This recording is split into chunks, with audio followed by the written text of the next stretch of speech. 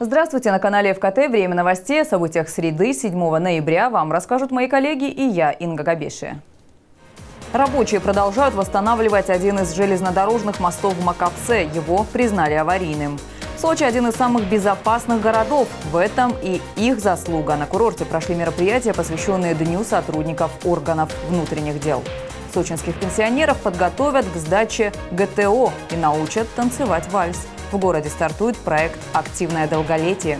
В Сочи стартовали открытые краевые соревнования по стрельбе из лука. В этом году турнир отмечен рекордным количеством участников.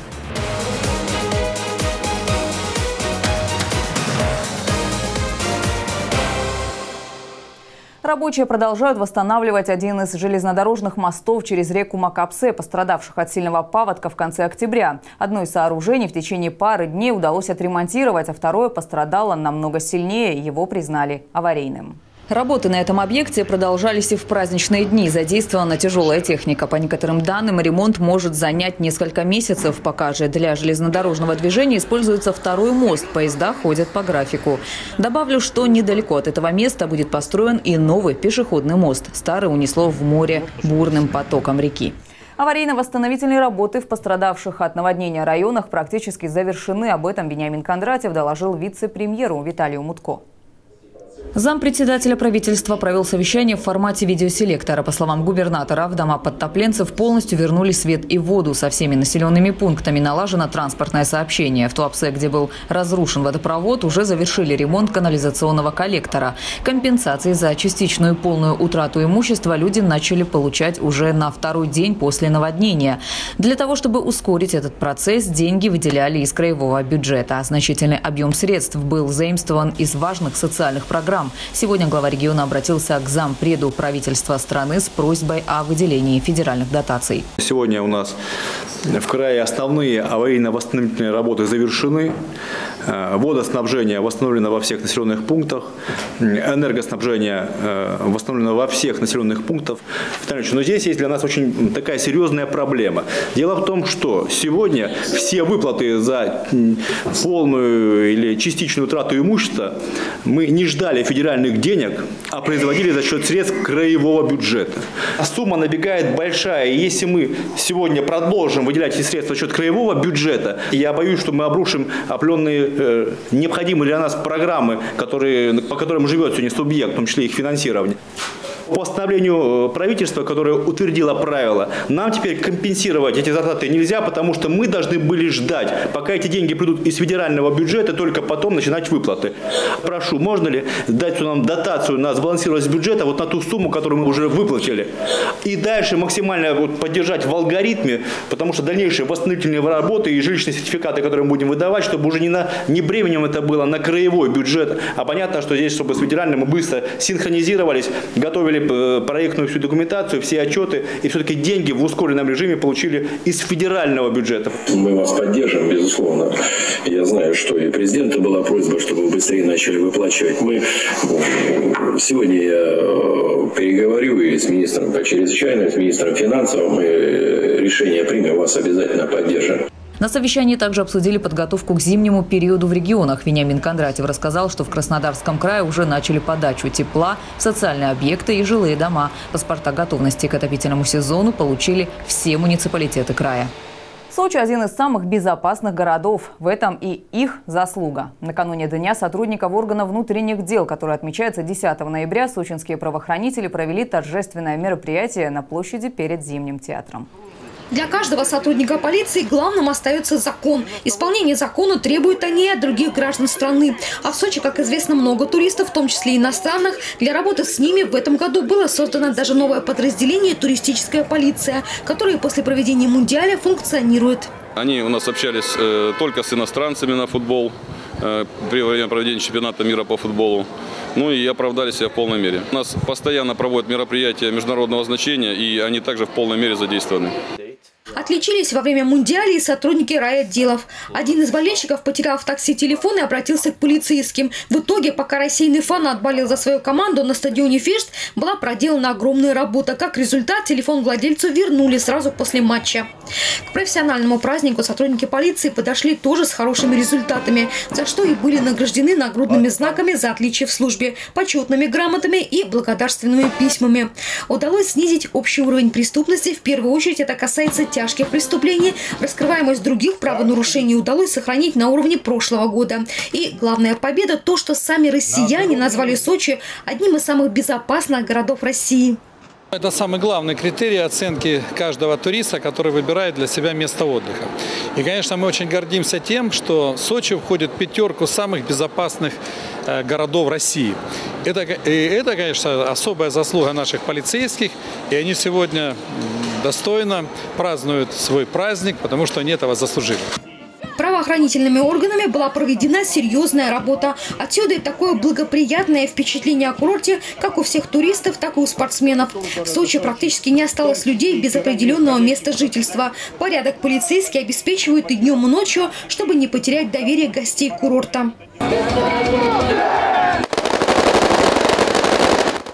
Рота специального назначения продемонстрировала приемы рукопашного боя, навыки применения оружия и специальных средств, мастерство владения телом, силу духа и бойцовский характер спецназовца, которые необходимы для выполнения различных боевых задач.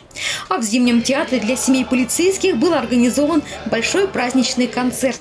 Елена Овсецина, Николай Тихонов, телекомпания «ФКТ». Мертвая петля, зеркало и бочка. Фигуры высшего пилотажа в Краснодаре показала авиационная группа «Стрижи». Сверхзвуковые истребители МиГ-29 устроили в небе настоящее шоу. Выступление приурочили к 80-летию Краснодарского высшего военного авиаучилища. Это главная база в России, где готовят военных пилотов. Поздравить ВУЗ с юбилеем пришел и губернатор Краснодарского края. Что еще можно было увидеть на обычно закрытом для гражданских аэродроме, расскажут наши краснодарские коллеги.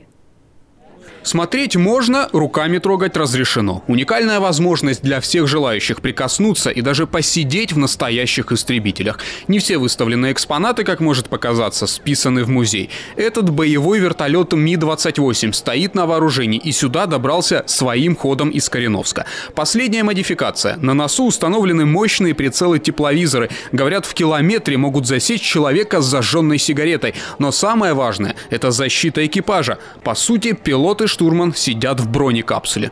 Летчик защищен от головы до самых ног полностью. То есть не может, может не беспокоиться. 30 миллиметров спокойно броня выдерживает. Без, не, практически не разрушаясь. Вот. Как бы так. Также если какие-то взрывы, там, попадание ракет, осколков, все это, ну, вертолеты ни чем честь 80-летия свои двери открыло Краснодарское высшее военное авиационное училище имени Серова. За все время работы здесь подготовили больше 27 тысяч специалистов. Те, кто хочет пополнить эти ряды, могли прямо в палатках на аэродроме узнать, что необходимо для поступления. Кроме этого, в рамках патриотической акции работал мобильный пункт отбора на военную службу по контракту. Если все устраивает, проходишь тест, подаешь документы, и ты в армии. Ну, из общего числа при, приходящих, так скажем, кандидатов и военнослужащих, получившихся из них, ну, где-то 90%. То есть те, которые от заявления до части прошли. Служить в российской армии действительно стало престижно. Четкая организация, неплохие зарплаты, современное оснащение. Вооруженные силы России всегда были гордостью нашей страны, замечает Вениамин Кондратьев. Губернатор края вместе с остальными людьми пришел на праздник в летное училище. Народ и армия едины. Мы об этом часто говорим, об этом часто слышим. На самом деле народ, страна нуждается сильной армии.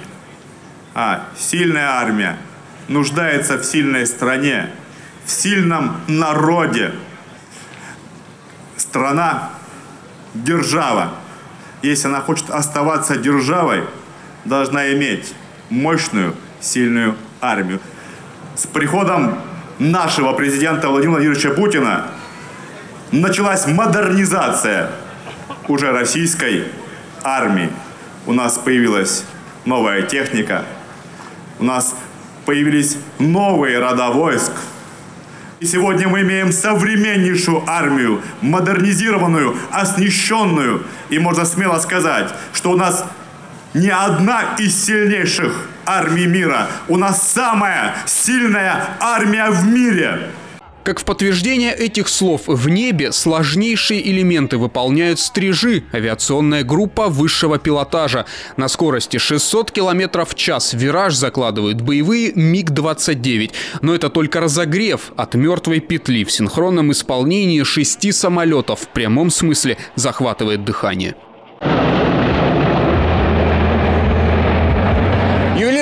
Работа. Только представьте, 15-тонные сверхзвуковые истребители выстраиваются в четком порядке на максимальной скорости на расстоянии меньше метра друг от друга. Ощущение, что для этих асов в небе нет невозможного. Упасть вертикально вниз с высоты, сбросив скорость, легко. Синхронно пролететь на минимальной высоте тоже без проблем. Воздушными трюками пилотажная группа «Стрижи» поздравила с юбилеем Краснодарское военное авиаучилище. Отдельные слова благодарности за всех выпускников главной базы России по подготовке летчиков, сказал глава региона. Для того, чтобы все наши планы и мечты сбылись, должно быть просто мирным небо над нашими головами. Так вот, это мирное небо над нашими головами обеспечивают и выпускники нашего Краснодарского летного военного училища. Даже ценой собственной жизни. Высокий профессионализм, воинская доблесть, честь свойственна всем выпускникам Краснодарского летного училища. И подтверждением тому со времен его создания 137 героев Советского Союза являются выпускниками Краснодарского летного военного училища. Эти великие традиции нашего офицерства жили, живут и будут жить в нашем летном Краснодарском военном училище. Ваш ВУЗ – опора военно-воздушных сил страны его выпускники составляли и составляют, и, уверен, будут составлять элиту боевой авиации России. Ну а искусные полеты в небе российских истребителей как напоминание недоброжелателям, что красота может быть страшной силой. Александр Иванченко, Алексей Комаров, Виктор Чаусов, Кубань-24, Краснодар. К новостям вернемся после прогноза погоды и короткой рекламы. Не переключайтесь.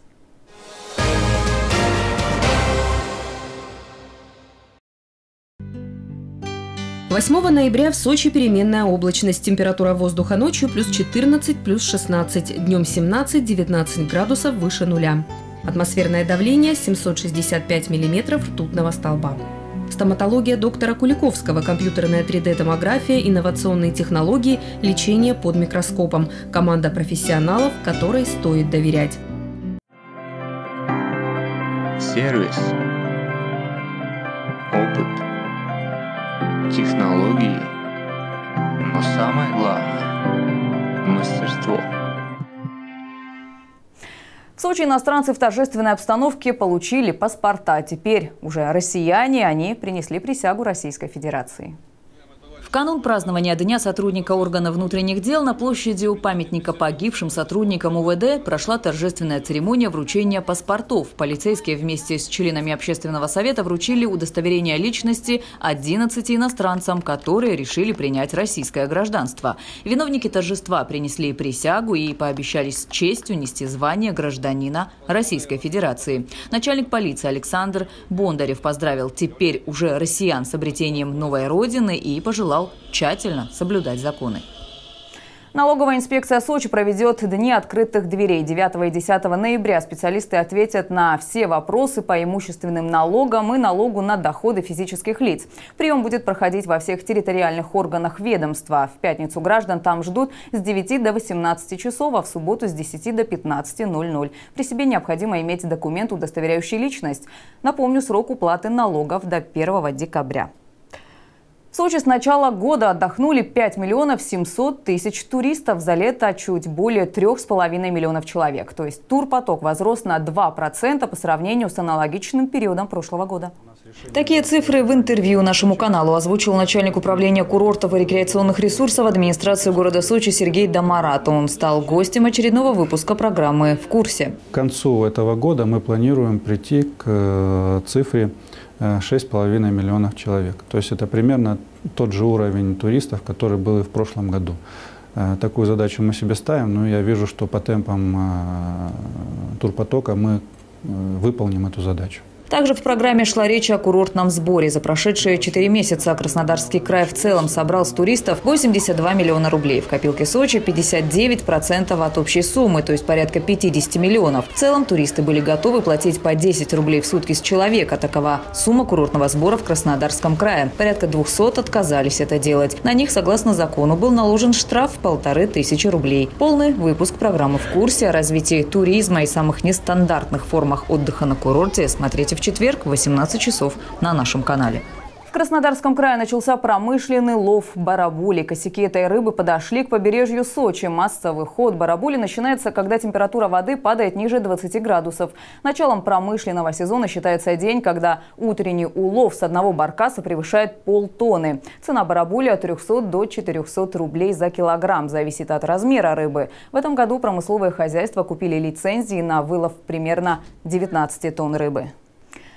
В Сочи стартует проект «Активное долголетие». 8 ноября в 14 часов на площади перед зданием городского собрания Центр медицинской профилактики проведет выездное обследование. Оно включает в себя экспресс-ЭКГ и измерение артериального давления. Также все желающие смогут принять участие в оздоровительной гимнастике с элементами практики цигун. Кроме того, состоится мастер-класс по силовой гимнастике для подготовки пенсионеров к выполнению норм ГТО. На импровизированной сцене выступит хор ветеранов «Русская песня» и вокальные ансамбли. Помимо этого, этого прозвучат стихи в исполнении участников проекта «Литературный балкон», а все желающие смогут разучить вальс.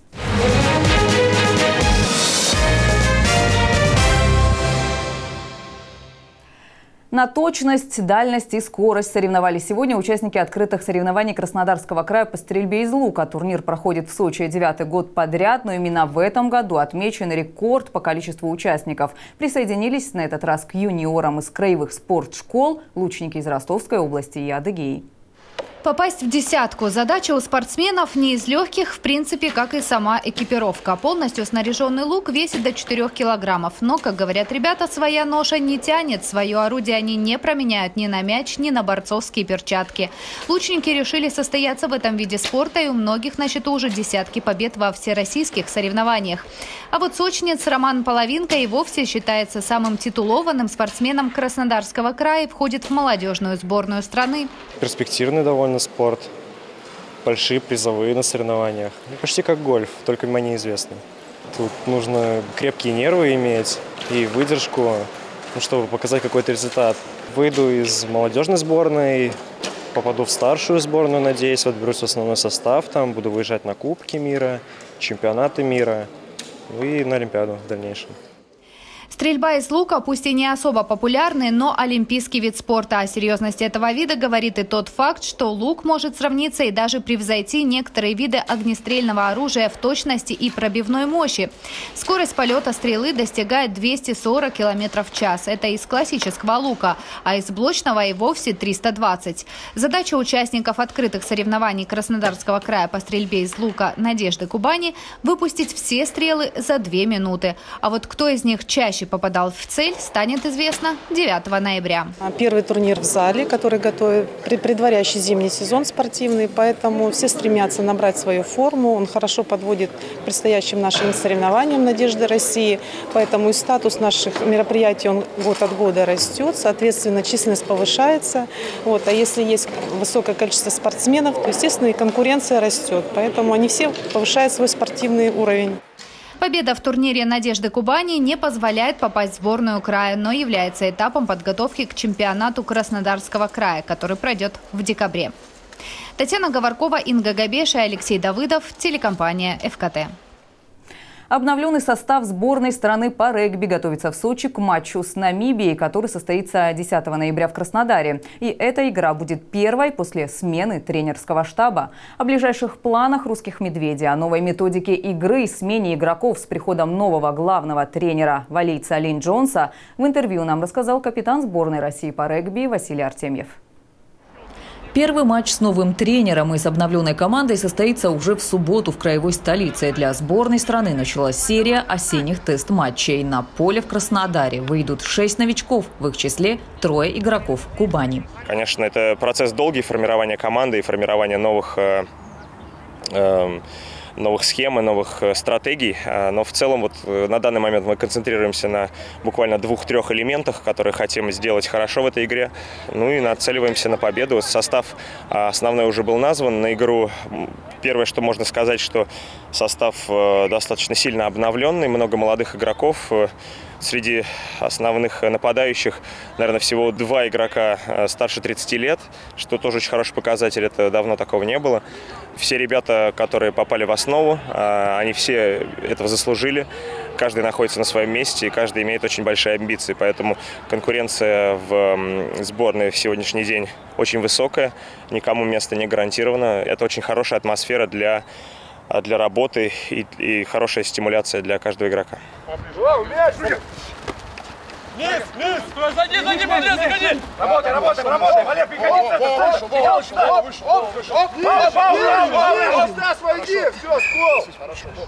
Из Краснодара русские медведи отправятся в Уэльс. Там они сыграют со сборной Японии. К слову, с этой же командой им предстоит встреча на Кубке мира в сентябре 2019 -го. Ну а в декабре регбисты снова вернутся в Сочи. Здесь, отмечают спортсмены, у них проходит самая плодотворная подготовка к матчам.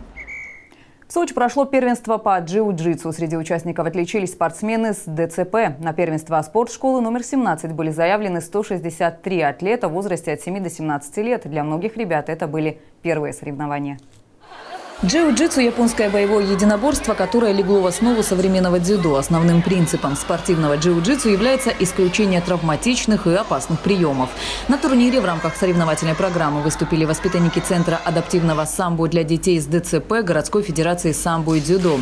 Ребята продемонстрировали владение техникой борьбы как в стойке, так и в партере. Кстати, обе пары спортсменов с ДЦП в своей возрастной группе завоевали золотые медали и кубки турнира. Победители и призеры первенства первенства награждены медалями и грамотами. Впереди у ребят краевые соревнования и отбор на первенство России. Около 200 танцевальных пар выйдут на паркет в Сочи. С 10 по 11 ноября на базе Юг спорта пройдет открытое первенство города по танцевальному спорту «Арго Кап-2018». Участие в турнире в этом году примут команды из Краснодара, Сочи, Туапсе, Геленджика и других муниципалитетов. По традиции соревнования проходят по двум категориям – массовый спорт и спорт высших достижений. Спортивные пары будут соревноваться в европейской и латиноамериканской программах. Минимальный возраст участников – 5 лет. Все новости уже на нашем сайте fkt.com. Смотрите нас также в социальных сетях Facebook, Instagram, Одноклассники, Telegram и в группе ФКТ ВКонтакте. В студии была Инга Габеша. Спасибо за внимание и до встречи в эфире. Благодарим за создание имиджа ведущей студию красоты Мика Бьюти и лично ее основателя Милану Гаспарову. Студия красоты Мика Бьюти – макияж, прически, броу-бар, курсы для бровистов и обучение визажу.